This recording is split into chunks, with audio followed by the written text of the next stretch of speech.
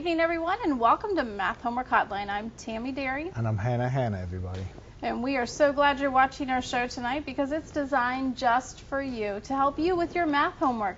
Don't forget that if you have any questions about your math homework or some other math work that you may be working on, go ahead and give us a call. Our teachers are ready and waiting to help you out with those math questions.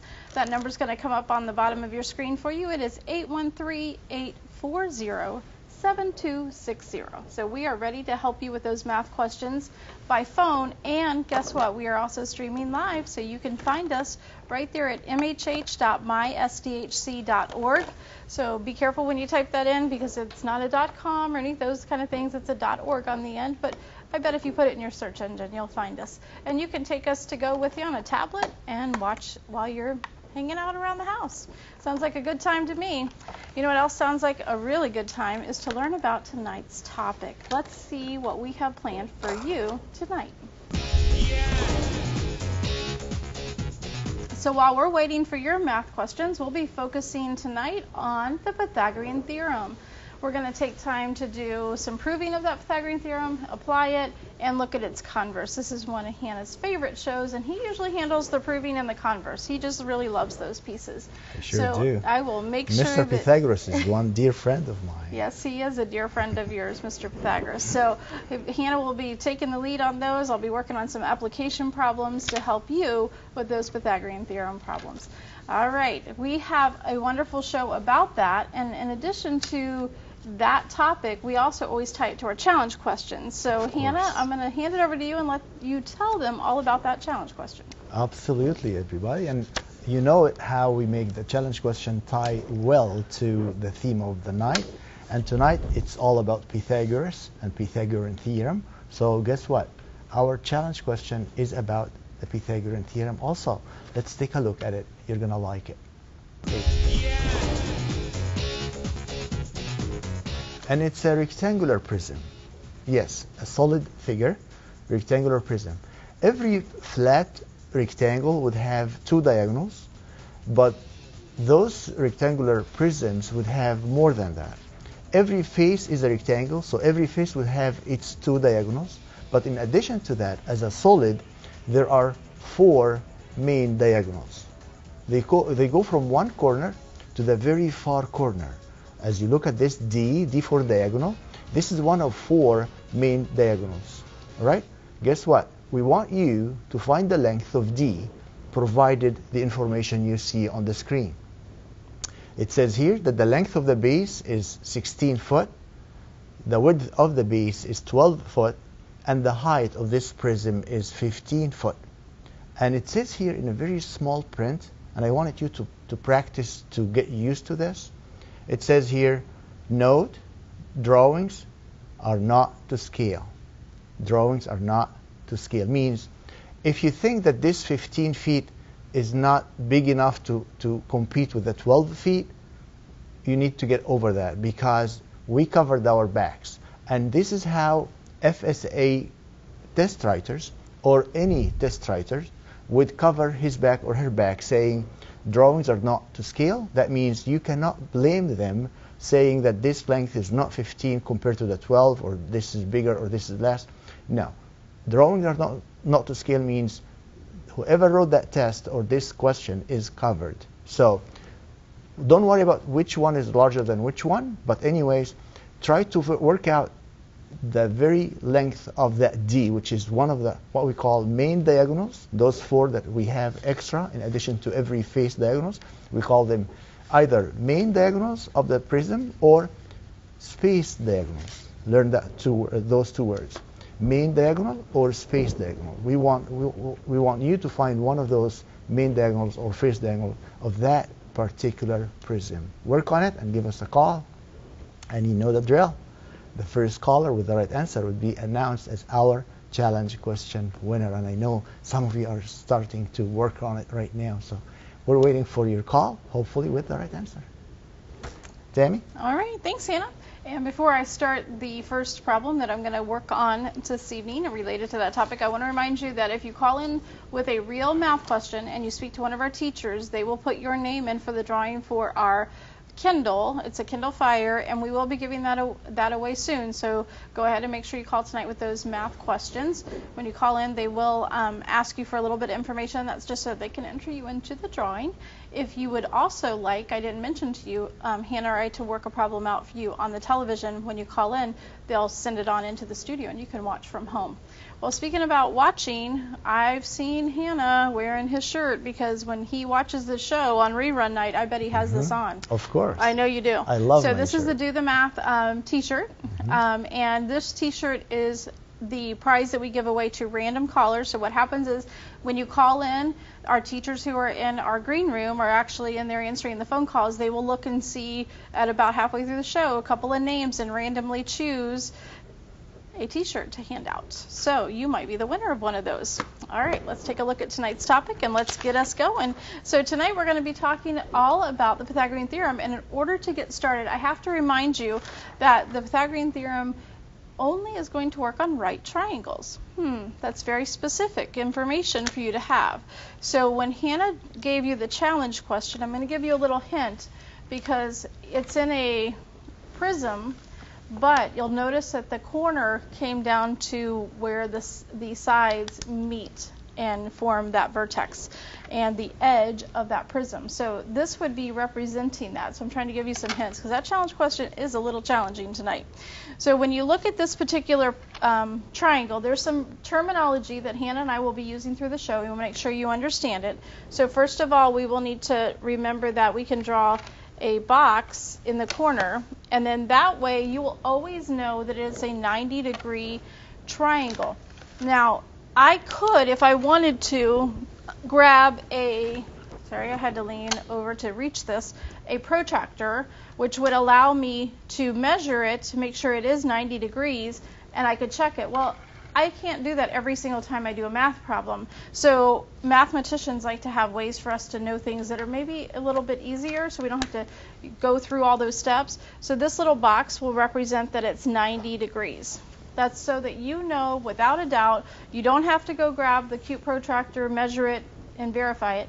You can if you would like, but you don't need to as long as they put that there. And then I want to point out some other language that you're going to see. So these two on the right triangle share a common name, but the slanted side does not. So these two, and I'm going to write it just below it because we might use our triangle for something else later on, is called a leg of the triangle. And this side is called a leg of the triangle. So it has the two legs and you have the right angle in between. The slanted side is called the hypotenuse. Let me spell that out for you. And the beauty of television is that you can rewind it if you need to. But it's called the hypotenuse, and that is a name that's given to that slanted side. It's opposite from the right angle, and it's the longest side of the triangle. Now, I will tell you that there are certain letters that are attached to the sides and the hypotenuse. And the way that, when we talk about the Pythagorean theorem in a few moments, and Hannah will be going through this with you, but I just want to let you know that typically the legs are either named A or B, and the hypotenuse is the letter C, and that will be related to the Pythagorean theorem. So once we start doing problems and you hear us say the Pythagorean theorem throughout the show, that A, B, and C will make sense because Hannah will be working with you on that in just a moment. So the key things you want to remember is that you're going to have an A and a B and a C, and those are lowercase a, B, and C. Now, sometimes you will actually have the triangle labeled. It doesn't have to be labeled exactly A, B, and C, but typically the point uh, that is kind of across from that leg will be the capital A, that would be the capital B, and of course this would be C. So depending on the textbook you have, depending on this, the problem that you're doing, it will determine how they label it. Sometimes if it's in a real life setting, you won't even see those types of labels. But that is the basic structure of the right triangle that you would need to know. Key things, just a quick review. One right angle, two legs, hypotenuse. A, B, and C, lowercase on those sides. All right, Hannah. Good I introduction. I like that. Thank you. I think you're all set we will, for your we work. will need every word you said right now. All right. So it's very good for everybody. All right, everybody, we're going to take a look at how we can utilize the, the Pythagorean theorem to differentiate between three types of triangles. We have a triangle called obtuse angled triangle, we have a triangle called acute angle triangle, and we have a triangle called right angled triangle. Those are all what we have. We don't have any other triangles, okay? Now, when you look at those A, B, and C's that Tammy just mentioned, uh, and how they relate to one another, or how they relate together, how do they connect together with regard of an obtuse angle triangle like this one here, or a right angle triangle like this one here, or an acute angle triangle like this one here. And if you notice, I always kept C as the one across from the angle I am talking about. A and B are going to be acting like the legs, if you will, but this word leg here would be applied only when you have a right angle triangle. Those are just sides. All three here, A, B, and C, and C are sides. ABC, ABC, and C are sides. ABC, sorry, AB and C are sides. But the thing is, only when we have a right angle triangle, we get into the very high level vocab as Tammy introduced it to, uh, to us, and that is where the two sides that form the 90 degree angle together is, are called the legs, and the one across from the 90 degree angle is called the hypotenuse. Now, what happens in here? In here, if you get the a squared, actually if you build a square on A and a square on the, whose area is A squared, you build a square on B whose area is going to be B squared, and you build a square on C whose area is C squared, you will find that C squared is going to be greater than the sum of A squared plus b squared. What means what this means is the area of this gigantic square would surpass the sum of the two areas of those squares built on the other two sides. What happens in the right angle triangle? The right angle triangle is so neat for the fact things would balance out. Look, if I build three squares on the three sides, one on every leg and one on the hypotenuse. Here, this area would be a squared, this area would be b squared, this area would be c squared. As you all know, as a square, the length times width is a times a is a squared. B times b is b squared, c times c is c squared. As the, the area of any square is length times width, which is the same side length, so it would be a squared, b squared, c squared. However, the neat thing about the Pythagorean theorem is it tells us that when you add these two squares built on the two legs here of the right angle triangle, they would be exactly equal to the square, the area of the square built on the hypotenuse by itself. So you find that c squared would exactly equal and balance out with the sum of the two areas built on the other two legs or the other legs. Now what happens in the acute angle triangle? you build a square here and a square here and a square here and you find areas here are a squared b squared c squared again but you will find that the c squared here would be definitely smaller. The area of this square is going to be smaller than the sum of these two areas. That's smaller than a squared plus b squared. Somehow it helps us to identify what kind of triangle we have. So when I give you any triangle with measures 15, 20, and 27, and I say, check what kind of triangle is this. You say, are we able to do this? I say, yes, absolutely. I take the smaller ones and I label them A, B, and then I go to the large one and I say you are C. I get A squared. A squared is 15 squared. That is 225. Then I get B squared. B squared is 20 squared. That is 400. Then I would get C squared alone, the largest alone. And that's 27, Tammy? 27 That's squared is? 729. 729. Thank you. That's 27 squared.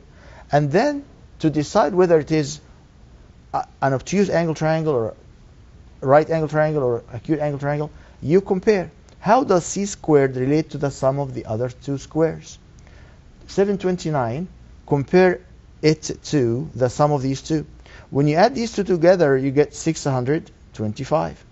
Oh, wow, 729 is larger.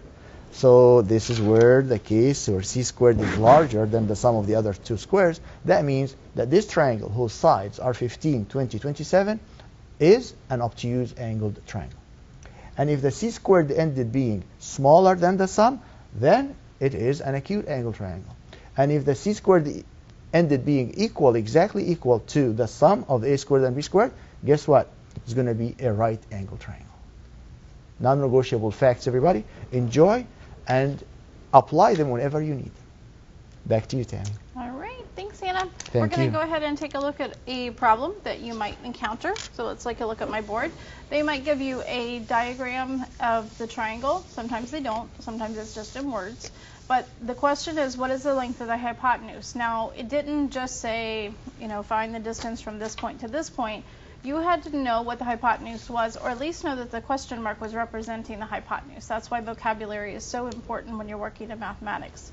So we already learned from Hannah that the Pythagorean theorem is typically set up depending on which textbook you have. I know I see people um, show it as this, a squared plus b squared, meaning that we're going to square the value of a and square the value of b and find the sum, should be equal to c squared if we do indeed have a right triangle and do indeed um, be uh, we have a right triangle, so we can use the Pythagorean theorem. So if I look at this, remember earlier in the show, if you've been watching, that you have to identify one of the legs as A and one as B. It truly doesn't really matter, just as long as you pick A or B. Just for simplicity's sake, I'll do A here and I'll do B here. And then I know that the question mark is going to be the side C, which is the hypotenuse, because we talked about that. We have the two legs. And in this particular problem, if they wouldn't have had a square in there that I just drew in, they would have either had to tell me in the question it was a right triangle or have the square, or I would have had to go get a protractor and actually measure it and find out if it's 90 degrees. Because just like Hannah just said, if it's not 90 degrees, you're not going to be able to use the Pythagorean theorem, and you'll know when you're done if you can't. So this particular problem has to either identify here, use a protractor, or in the stem of the question, state that it's a right triangle. Now they use the term hypotenuse, so that kind of led me to believe that it was a right triangle, but you got to double check. Okay, here we go. We're going to do some math. I love this part, just like the t-shirt. Do the math. A squared. So I'm to take the value for A, which is 9. We don't need the units when we're doing this. We'll come back to the units in a moment. We're going to take 9 and we're going to square it. Now, some of you have watched Math Homework Hotline before and you've seen us do things with parentheses. Right now, those are just holders. I don't really need them there because I don't have any signed numbers.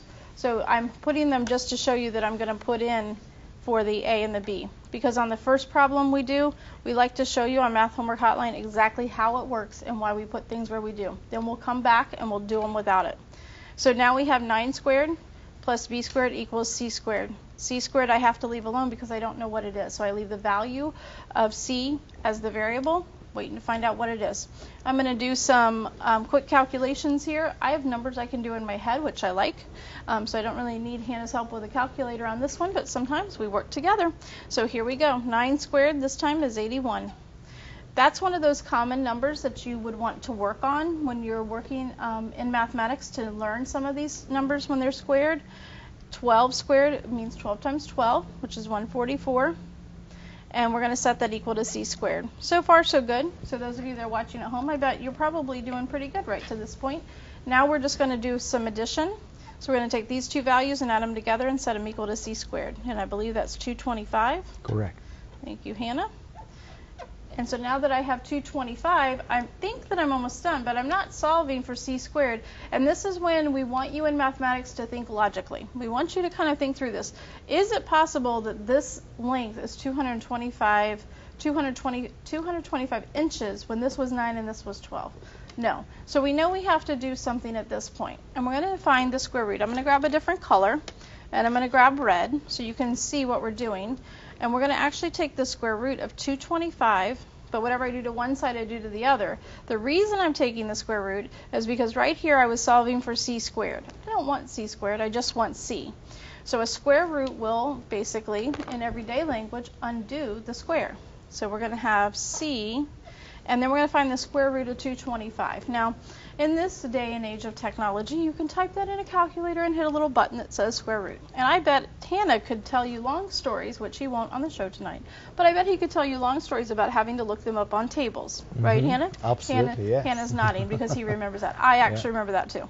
So there was times when we didn't have access to calculators, you'd have to pull a table out and look at your square root table, or learn them and memorize them. So 225 is one Hannah that I think you and I probably both memorize just from sure. being math people and doing them a lot. So the square root of 225 is 15. I would encourage you if you're um, one of those students who really loves math, and I know all of you do, that you would want to start memorizing some of those um, perfect squares and square roots. So 15 makes a lot more sense. So if I come over here and I put in 15, I want to tell you one thing though because if I put 15 here, I know it's 15 inches and I know it's a positive 15. But technically, when you take the square root, you actually get two roots. You actually get either a plus 15 or you get a negative 15. And I'm writing it to the side because I want to have a discussion here because I already know it's got to be positive because it's distance. But when you take the square root, it means what number, if I put in here and square it and take the square root, can I get the answer? I can put 15 in here because 15 times 15 is 225. Take the square root and I get 15, so I know it works.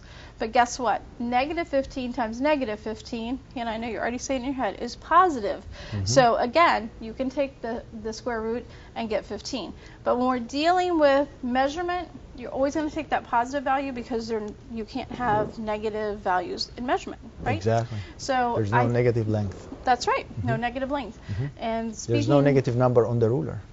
You're, you're right. The tape measure. And I, ha- and I have one here, and yeah. you're right, Hannah. There are no negative no numbers. Negative numbers. It starts at zero. So that's, that's, a good way to remember it as mm-hmm. well. So that's a basic um, Pythagorean theorem question.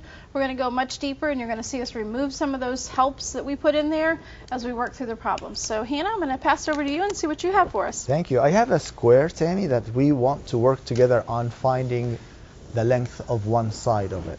And in this square here, if we take a look at, at my board, everybody, we have this beautiful orange square, okay? And I have here a diagonal. The diagonal of the square would be always the segment that goes from one point, one corner, one vertex, it's called the vertex, to the one across from it. We call it non-consecutive vertices. The diagonal is a line segment that connects to non-consecutive vertices. If I name if I name this A, B, C, and D, just a little of geometry on the side. These are the four vertices of the, the square. We call it square ABCD for this reason. A and B are called consecutive, like 5 and 6, 7 and 8, 8 and 9. Those are consecutive number, numbers. So A and B are consecutive vertices, B and C are consecutive vertices, same for C and D, same for D and A. But if I go from A to C, those are called non-consecutive. B and D are called non-consecutive. So when you connect two non-consecutive vertices, you get what we call a diagonal. Okay. Now, if this diagonal here is 20 inches, the question is asking what's the length of the side of the square? What's the length of the side of the square? This entails some geometry ideas and some algebra ideas. So let's work it together. First of all, once I said the word square, you remember that every angle of the square is a right angle, which is very encouraging to call Mr. Pythagoras and say, hey, no, we have only one, one 90, ang- uh, 90 degree angle or right angle for you. We have four of them.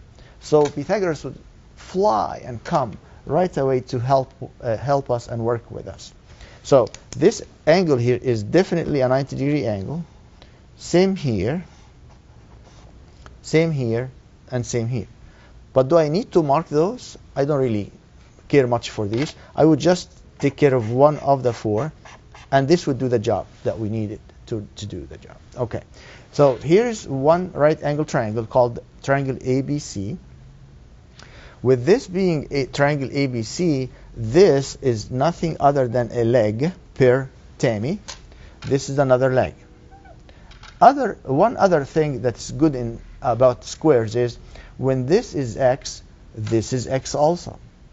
Means whatever this value is, this would be the same value. Whatever this length is, this would be the same length.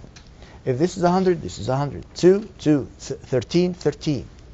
2.5, 2.5. Whatever the length here is, would be the same here. And that's one neat thing about squares. Squares are so great shapes and nice and fun to work with. So we have x here and we have x there. And then we're stuck. How would I figure out the value of x? And here we call Mr. Pythagoras and say, help, help, help. Pythagoras would come and say, I'm all yours. Pythagoras, what do you do when you have a right angle triangle? Pythagoras says, well, if you have two sides, I can help you finding the third side. But Pythagoras, this is not the case here. Like Tammy showed us, if we had A and B, we were able to find C. But now we have only one side, and we're looking for the other two. Pythagoras would say, well, are you, are you sure you know your algebra well? We say, of course. We would not do geometry without knowing some algebra for sure.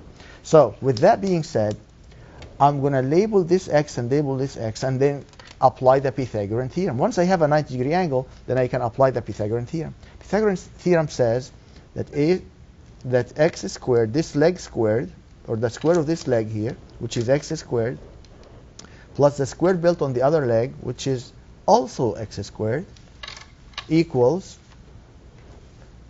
the square built on the hypotenuse, which is 20 squared. And now, what's x squared plus x squared, everybody? x squared plus x squared is 2x squared. That equals, when I square uh, 20, I get 400. 20 times 20, that's 20 squared. Like Hannah, Hannah, that's Hannah squared. Yes, you can call me Hannah squared too. All right, for 2x squared equals 400. I need x. To get to the heart of x, you need to remove the 2.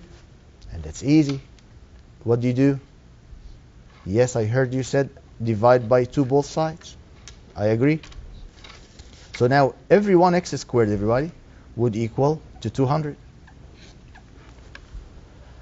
But Hannah, I don't need x squared, I need x. I need this length from here to here, which we call x. I say, okay, then we, as we, as Tammy just did a while ago, and I'm going to change colors as Tammy did. I'm going to use red as Tammy did. I'm just kidding. All right, we're going to take the square root of both sides, everybody. To get x out of the x squared, you get the square root of it. Square root of x squared, everybody, is x, and that would equal to the square root of 200. And for this, I'm going to talk to you about different options. One option is to punch it into the calculator, as Tammy said earlier. You get the square root of 200 by putting 200 square root, and that would be about 14.14. Thank you, Tammy. 14 about, and we put here about equal. Since we're rounding, so it's about equal, about equal. This is how we write about equal, 14.14. But what if the author of this question did not allow us to, to do rounding? They wanted the exact value. This is where the algebra kicks in. The algebra would say, if you wanted the exact value, then x, which is the square root of x squared, would equal the square root of 200. But how can I get square root of 200? Watch. Very enjoyable piece. When you get the square root of a number, try to factor it as much as you can to squares as much as you can. For the 200 is basically 100, which is a square, times 2. And for this, I can take the square root of 100 alone times the square root of 2 alone. And the square root of 100 alone is 10 and leave that square root 2 alone. So x, everybody, the exact value of x, and you see those equals are sharp equals, not rounded, not about equal. They are sharp equal. This is the exact value of x, everybody. And if this is in inches, this is 10 root 2 inches as well. Exact value of x, rounded value of x. All right? You be ready with both possibilities and work it according to your instruction on the test or, or the, the, the homework assignment, whatever you're working. Read the instruction well and follow instructions always. Hope you enjoyed this. Tammy, back to you. Um, well, thanks, Hannah. We are actually going to take a moment and step away from a math problem for a second while I give out some t-shirts. Are you excited? Wow. I know. Well, my sound people are excited. I don't know if Hannah's excited. Are you excited over there, Hannah? Of course. Okay, great. Great. He's getting ready for his next problem. He always loves to do the math, just like the t-shirt says. Do the math. That's Hannah. He's That's all right. about the math. So let's see who's going to get to wear one of these around at school. So three different schools. I love this. I have to look down to look at the names, so I hope I get them all right. Here we go. All right. From McLane Middle School out in the Brandon area of uh, outside of Tampa is Sean. So congratulations. Wow. So Sean, good job on that. And normally we clap for you. There we go. I was waiting on it. Okay. and from Pierce Middle School, okay, Anna Marie. Woo, how exciting.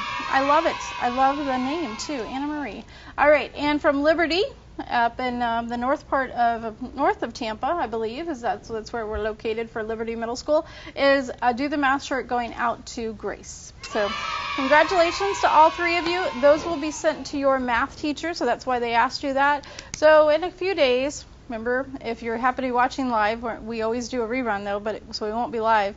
But if you um, are watching the show tonight, live, the T-shirt will be sent out to your math teacher, and it'll be a few days from now, and when you'll get it. Very exciting little package. Okay, all right, I'm back to doing math. Let's go. Here we have a diagram, and it is um, a question, and it's a very vague question. And the reason that I'm doing one of these is because it doesn't tell me a whole lot. It just says, what is the length of the boat ramp? Well, I don't know about you, but sometimes I've seen problems like this, and you're thinking, I don't even know where to start. What do I don't have a ruler? I don't know what to do. Do I just guess? Well, what you have to do in this type of problem is pull in all of those things that we've been teaching in the first half of the show. You look at it and you go, okay, what do I already know? I know I've got to find the length, so that's important. I know it's some sort of ramp, so this is a slanted side. And I see a little box that they told me that this is a right triangle. This is my key right here. This is when, as a math student, you start pulling all of this knowledge in and you go, okay, what do I know about this and what can I use to solve for that slanted distance that they're calling a boat ramp? And they didn't say, hey, that's the hypotenuse. They didn't tell me that, but I've got to know that. So I've got a right angle, I've got two legs, and now I remember, oh yeah, on Math Homework Hotline, they talked about the Pythagorean theorem. So I need that slanted side. So you take your Pythagorean theorem, a squared plus b squared equals c squared. And yes, that is one of those things in mathematics that you'll use enough that you'll remember. You don't have to sit down and memorize it because it'll come to you naturally after a while, just like riding a bike. You get on a bike and after a while you just do it. So we're going to identify these as A and B. Doesn't matter which is which. It's up to you. And we'll do the 5 squared, and I'll do this quickly because we did it before on my last problem. And I want to show you something. I've dropped my parentheses. If you've been watching the show from the beginning, I put holders in to show you where those numbers went. Right now, I've took, taken them away. So 5 squared is 25, plus the 12 squared is going to give me 144. We did that. Remember I said there's certain squares that you want to kind of remember so you're quick at it. It's that fluency piece in mathematics that we like. And I believe when I add these together, I get 169 is equal to c squared. And then again, just because we're trying to be a little consistent here, we'll probably drop it soon. But on the show, when we're getting ready to take the square root, we're showing you that we're taking that with that red that red marker, so you remember that that step is important. And when the c squared is going to give us c, but the value I need is the positive distance from um, the top of the ramp to the bottom of the ramp, where the boat's going to get pulled up. And it's a small boat, probably be like a little small little boat that you go out in the lake and go fishing in, based on the size of the ramp. So I would take the square root of 169. That's again one of the ones that I like to remember. That's going to be 13. So the answer would be 13 feet. Now, I know probably before the end of the show, Hannah's going to talk about something called Pythagorean triples. He does a great job talking about it, but 5, 12, 13 is a very, very common Pythagorean triple. What that means is that you, if you knew that the, the small side is 5 and the other side is 12, you don't even have to do all this math. It will always be 13. It's already been done for you. It's called a Pythagorean triple that you remember those three numbers together. And I don't know about you, Hannah, but I know for when I was in school and I took a lot of those standardized tests, it seemed like all the time I would have on there a problem that used the 5, 12, 13. Absolutely. And I, I, would agree often 100%. want to check it. Mhm. But I really, once I started remembering that's one of those Pythagorean triples, I might check it, but then, you know, and sometimes it's a, you know, a flagpole, sometimes you never know what it's going to be. So if I have the 5 and the 12, I can suspect the third hypotenuse would Mhm. be the 13. If I have the hypotenuse 13 and one leg 12, I understand the other leg is 5. Yes. And that would be good to memorize. Yes. Yeah. Great time saver, too, Mhm. especially on those standardized Absolutely. tests when you're kind of trying to work through those problems quickly. I agree. So I hope, hopefully that'll help you out. We'll probably get some more in before the end of the show. Hannah, what you got for us over there? We're going to take this boat and travel to, I mean, you talked ram, so, and boat, so we're going to travel from home to the marina. Okay. All right? Great. So how would we go from home? This is where home is, and here is the marina. Marina is at E. Now, watch this. To go from home to this particular marina, we would have to drive 80 miles east to city B from city A, where home is, then go 50 mile north to city C, then 20 mile east again to city D, then 10 miles south to, to city E. This is where the marina is. Now, I can either go driving or I can load my boat on a train where the train goes straight from home to the Marina Street. There is one train, and you know they don't let the trains do lots of turning and turning and turning. No, they give them uh, they give the trains priority when it comes to to shortcuts. And then they put those railway crossing for the cars to watch for those crossings, but they try to make it as short as possible for the trains. So this purple is the train route. And the question is asking, how long would be from A to E straight? You say, well, how am I going to find that, Hannah? Are you just, you know, being uh, uh, sarcastic here? Are we uh, going to be truly able to figure that out? I say, yes, of course. You watch Math Homework, homework Online. You should be able to do anything in mathematics. I promise you. Yes, we can. Yes, we can find the length from A to E straight on that train. And to figure this out, with the help of the Pythagorean theorem, we're going to work it together. Let's do it together, everybody. Pythagoras would say, guys, east, north means that this is a 90 degree. Say, yes, we sure do know that, for sure. Now, I mean, this one is 90 degree also. This one is 90 degree also. But now, where is my triangle? Pythagoras is asking. Pythagoras is so keen to find those right angle triangles. He loved right angle triangles and continue continues to do so. And I love right angle triangles too because they are so fun to work with. Look at that. Pythagoras, you need a right angle triangle where this train line or track would be part of it. He says yes. I said okay. I'm going to have to expand this a little. And I'm going to have to expand this a little. Those two green dashed extra pieces would help us to generate this right angle triangle A, E, F.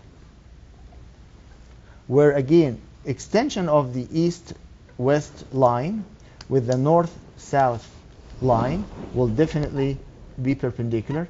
So Pythagoras, life is good. We have a right angle triangle here.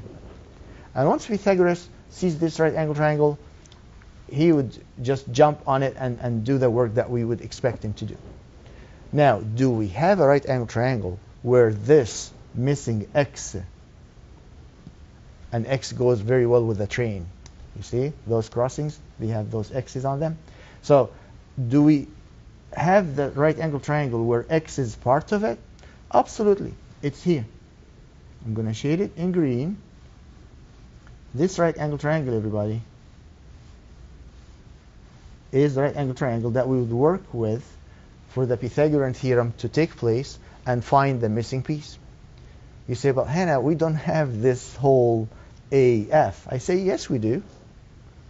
If this is if this CD is a 20, then BF is what class? 20. I heard you saying 20. So this is 20 mile.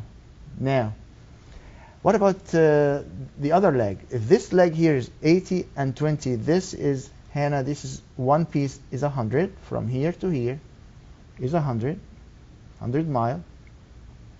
Pythagoras is waiting for the length of the other leg too, which is from here to here. How can I get this?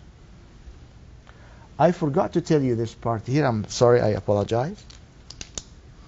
This DE was 10 miles.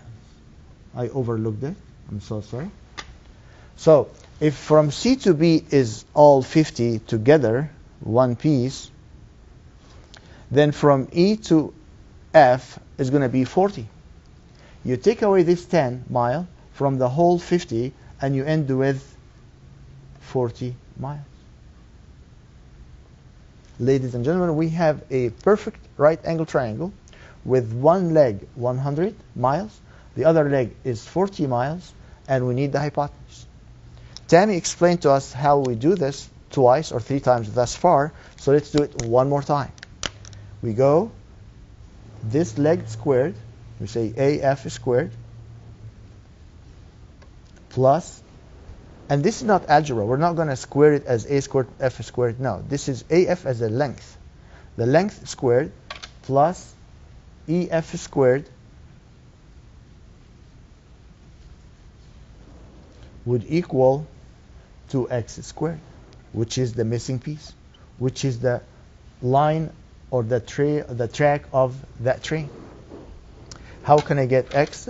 I would work out my numbers here. What's AF, everybody? AF.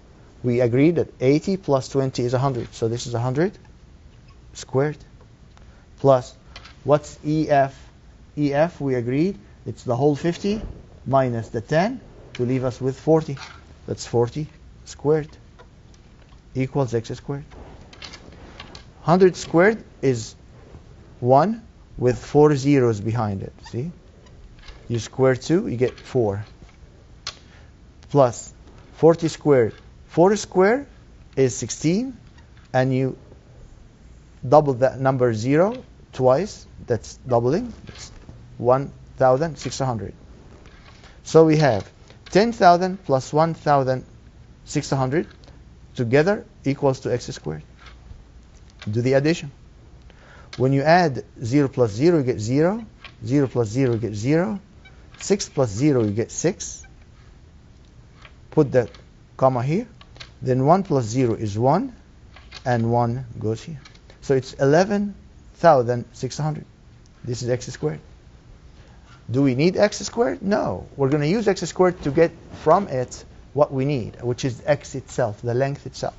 So Tammy and I repeatedly explain how to get x out of x squared, and that is by taking the square root of both sides. Everybody, let's go.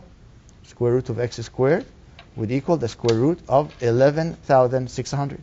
So this would generate x for us, and this would be about equal, because we're going to have to round it, Am I right, Tammy? Mm-hmm. It's about equal what? Give me to the hundredth place, rounded. 107. 107. 70 hundredths. All right. Point 70 hundredths. Mile, of course. All these are in miles. So imagine, look how convenient it is. If I drove, I'm going to drive 80 plus 50 plus 20 plus 10. 80 plus 50 is 130, plus 20 is 150, plus 10 is 160 miles.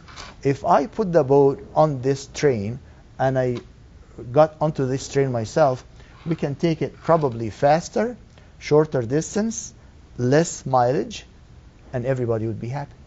See? 107.70 about, of course, uh, miles versus 160 miles uh, uh, trip. I would rather to go on the train, save myself the hassle of the driving, and enjoy the train and the sight as I'm traveling from one city to the other. I love that. All right, everybody. Hope you enjoyed this. I hope you enjoyed the trip actually going to the to the marina. All right. All right, back to you, Tammy. All right, thanks, Anna. Well, we're not going to Marina. We're just going to figure out how to get to the park. All right. Okay, so let's see if we can do that. so we're going to take a look at another little map that I've drawn. But it says, what is the distance in miles from the store to the park? And this is the first problem we've done tonight where we're not finding the hypotenuse. Hmm, how are we going to do that? Well, this is important because not every problem will say find the length of the hypotenuse. And I put a note over here, it's not to scale, because I wanted to put a green um, triangle on here and I put it on here and added the miles and then the location. So the question mark area is what we're looking for. So think back to the beginning of the show. This would could be A, this would have to be B, and this gets to be C. Well, that means that I'm not looking for C, the hypotenuse anymore. I'm looking for one of the legs. Uh-oh, we haven't done that. Let's see if we can do it. I know we can because we are on Math Homework Hotline. Here we go. Let's start with a squared plus b squared equals c squared.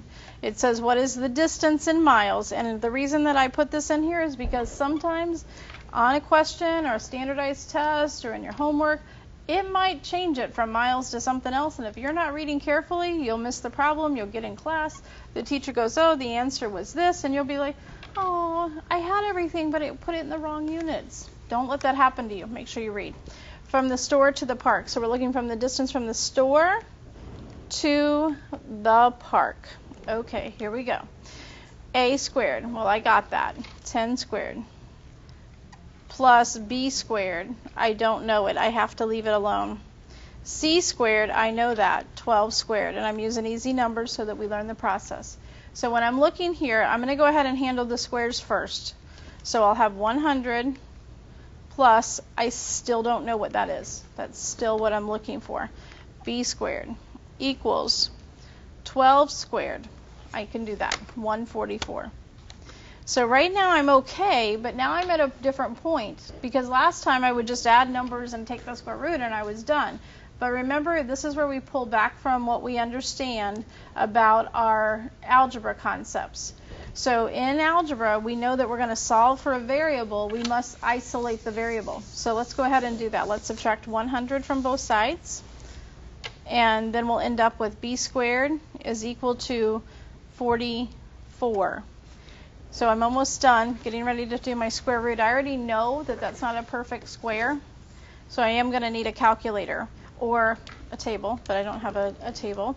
So b squared, take the square root, I'm going to have b, so this distance from the store to the park is going to be, and I'll have to grab my calculator real quick, 44, and if I take the square root, I get 6.63 approximately. So let's go ahead and rewrite that as an approximate value. And in this case, we may not need an exact one. You might somebody might just say, hey, about how far is it from the store to the park? And you could then just say it's about six and a half, or if you wanted to go a little bit higher, you could, but 6.3 miles would be that distance. Okay, good stuff on Math Homework Hotline tonight. Also, really good stuff because I get to give away more t-shirts. Yes, I do. They didn't think I saw that, but I did. She's waving at me and she's going to give out the t-shirts. So guess what? Here we go. All right, from Turner Bartels. Um, Bish? Bishoy. Bishoy. Bishoy. Bishoy. I like that. I like that. I hope I said it correctly. If I didn't, please yeah, forgive me. Yeah, it's Bishoy. It's uh, one of the names of those saints, martyrs in Egypt. Oh, awesome. not martyrs, actually. It was awesome. a saint. Saint Thank in you. Egypt, yes. One of the Coptic uh, church you know, big names known. will be shown. Okay. Mhm. Hannah's got lots of information for us Mm-hmm. on names. He's so smart. Okay, Tinker Elementary, um, Alicia. Alicia. So congratulations to both of you. Both beautiful names. And we are going to have to do something now. Other than giving away the t-shirts, those will be sent to your math teacher. Unfortunately, Hannah, at about nine minutes left in the show, you have not had a challenge question winner, and that means that I know. It's so sad. It makes me sad every week that we don't get a challenge question winner. But Hannah, I think that they would want to know how to do it. Sure. So Hannah, it's all you. All right. Here's everybody. I wanted to, as we, as you all know about us here at Math Homework Hotline, we always have a purpose behind everything we do. And uh, as I'm taking you to uh, to do the math, uh, the challenge question with uh, together, I am using here a technique that I would want you to learn along the way, and that is to draw those rectangular prisms. I'm going to lower this a little bit so we can have um, good view of this. Okay. Here we have. The way to draw a good looking rectangular prism is basically to draw two identical size rectangles. So here is one dark blue rectangle and here is one light blue rectangle, identical sizes, everything is the same except for we just did some sliding to the left down or we can do to the left up or to the right down or to the right up. Doesn't matter but you have to do some kind of transition uh, translation somehow the way you can have it as if you're looking at this rectangular prism from an angle. All right? Now how do you then finish it to look like a three-dimensional figure? You connect those what we call corresponding vertices. This to this this to this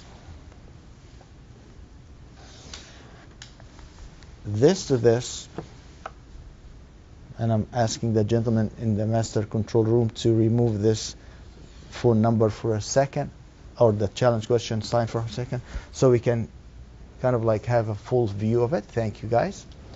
Here is our rectangular prism. And to get to that diagonal that we want to see it goes from this corner here here to this corner here. It's called the space diagonal or one of the main diagonals. But before I do this, let me just do something else also to show you how we can see the unseen. How? If I just expanded this in dashes and expanded this in dashes,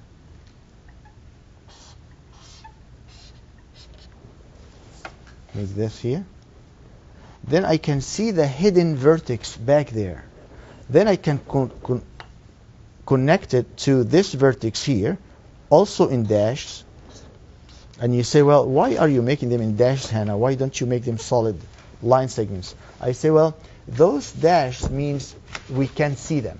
We cannot see them, but they exist. So, if this rectangular prism here is the one we have on the challenge question.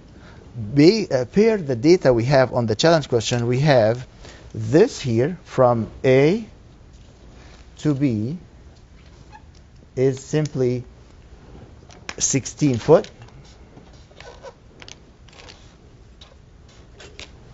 And from A, that's A, B, C, D, and this is A prime, B prime, C prime and D prime. Okay? From A to B is 16 foot. From A to D, we're told is 12 foot. The height, those are the two dimensions, by the way, the 16 and the 12 are the two dimensions of this base rectangle or rectangular base. The height of the prism is, we're told, 15 foot. And the question is asking to find this space diagonal, which I would do in a different color so it would stand up, uh, so it would stand out a little. Let me do it in red. Here we go. I would connect from B to D prime, everybody. And that's what we call space diagonal or main diagonal. One of the two words or the two names will do it. How can I get this? Well, to do this, you would need to, first of all, work on your base. And to work on my base here, which is this rectangle, I have a 90 degree angle here. This is a 90 degree angle. Yes, but it is looked at from an angle, so it would look like this. This is a three-dimensional space geometry is like this. So here we have a 90 degree angle with the length of one leg is 16, the length of the other leg is 12. Now I'm going to go figure out what is this length from B to D. B to D, believe it or not, is going to be the hypotenuse of this right angle triangle. 12 squared plus 16 squared, 12 squared plus 16 squared would equal 144 plus 256. That is 200, uh, 400. So this length here, dr, uh, db squared, is 400. The square root of 400 is 20. So now we have this, everybody, as 20. You say, okay, Hannah, we got the diagonal of the base. I need this red main diagonal. How would I do it then? I say, well, if this here is 15, the height, then this here, from here all the way to here, is 15 as well. As, and you, you look at this triangle here, everybody. This triangle here is another right angle triangle where this is one leg, the 20. This is another leg, which is the height of the prism.